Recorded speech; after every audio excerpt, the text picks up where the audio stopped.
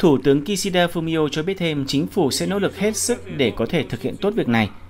Và việc sử dụng thuốc uống tại nhà cũng là một biện pháp hiệu quả nhằm chống dịch COVID-19. Bên cạnh đó, chính phủ cũng đã hỗ trợ tối đa cho việc nghiên cứu, phát triển, sản xuất thuốc trị COVID-19 trong nước. Bộ trưởng Y tế và Lao động Goto cho biết thêm, Bộ sẽ hợp tác với các bên liên quan để đảm bảo hệ thống y tế thông suốt. Tất cả người bệnh có thể được điều trị, thúc đẩy việc điều trị tại nhà nhằm giảm tải cho hệ thống y tế.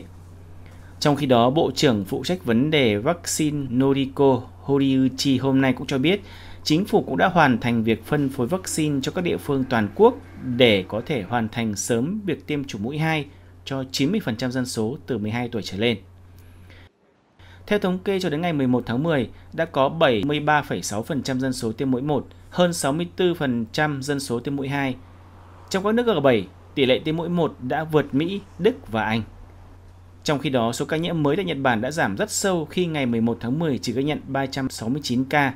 Tokyo, Osaka và Kanagawa là những khu vực có số ca nhiễm nhiều nhất cũng chỉ còn 49 ca nhiễm. Đây là con số thấp nhất trong vòng nhiều tháng qua.